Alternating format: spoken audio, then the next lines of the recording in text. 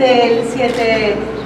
de septiembre y el 19 de septiembre, eh, pues el UMPA diseñó un proyecto que atendiera pues, un, sector de la población que muchas veces queda como olvidado. En el caso de Cojutla, pues muchas de sus escuelas y lugares de esparcimiento fueron afectados, pues lo que impidió que los jóvenes tuvieran alguna distracción o bien pudieran convivir entre ellos mismos. Muchas veces de estas escuelas, aparte de ser afectadas, eh, también fueron utilizadas como centros de acopio o bien como refugios. En este sentido es que el día de hoy eh, estamos inaugurando un espacio que es un espacio seguro, donde pretendemos que los jóvenes y las jóvenes también eh, puedan aquí desarrollar un sinfín de actividades que vayan en pro de su crecimiento, fortalecimiento de sus liderazgos, pero sobre todo que se vinculen con la reconstrucción, con la reconstrucción del tejido social, más que de la reconstrucción física, eh, queremos seguir potencializando estos liderazgos que surgieron a partir del sismo y bueno, que puedan seguir contribuyendo a su comunidad. Claro que el trabajo que, como lo mencionaba nuestra antecesora,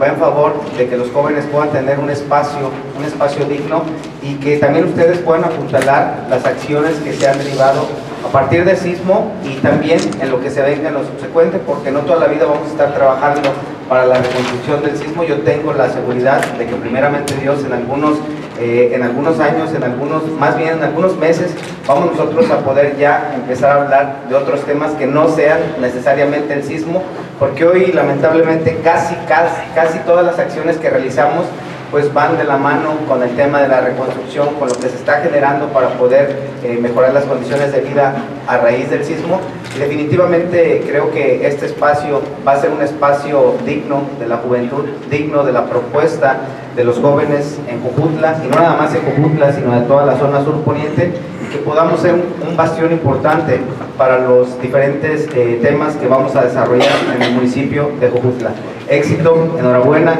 y que esto sea en beneficio de los jóvenes, pero especialmente de Cojutla. Muchísimas gracias y que tengan éxito. El ayuntamiento ha venido generando una serie de cabildos permanentes eh, cabildos extraordinarios incluso, y uno de, los, de las situaciones emergentes fue rescindir de la renta de algunos inmuebles. Ese dinero que se, que se estaba generando para la renta de los inmuebles de la instancia de la mujer, la instancia de la juventud y algunos otros, eh, se fueron ahorrando para la reconstrucción de nuestro, de nuestro de nuestro municipio y para otros quehaceres administrativos y por eso surgió este trabajo en equipo, la gestión, para que un espacio seguro a través de todas esas instancias que acabo de mencionar sea la instancia de la juventud que podamos todavía nosotros eh, ocupar dentro de nuestro municipio para las y los jóvenes. Después de nosotros de no tener inmueble de la instancia, teníamos que hacer las gestiones pertinentes para que hoy Ocutla pueda tener, pueda seguir eh, teniendo este espacio para la juventud, un espacio como la instancia de la juventud que teníamos con talleres, con eh, eh, cine debate, con recreación también, con algunos cursos como el de inglés, como el de guitarra, como el de canto que también teníamos en nuestra instancia de la juventud. Hoy es una realidad y quiero pronunciarme para que sigamos velando por el sector de la juventud, porque no quiero dejar pasar este importante hecho porque el esfuerzo que hoy estemos aquí es gracias también al director de la biblioteca. Este espacio, el segundo piso de la biblioteca, es un espacio que estaba destinado para eh, algunos talleres propios de la biblioteca. Hoy se está destinando hasta el término de la administración para que los adolescentes, las y los jóvenes puedan tener este tipo de talleres también aquí en nuestra biblioteca regional. Muchas gracias al ingeniero Parra, a Trini, a todo su personal, que sin ellos, la verdad, muchas de las cosas no pudiéramos haber concretado el día de hoy. Muchas gracias y pues que viva la instancia de la juventud, que viva la juventud de Cojutla. Muchas gracias. Pero gracias a acciones como esta podemos brindarle a un sector de la población que es muy importante, que prácticamente somos la tercera parte de la población, atención directa.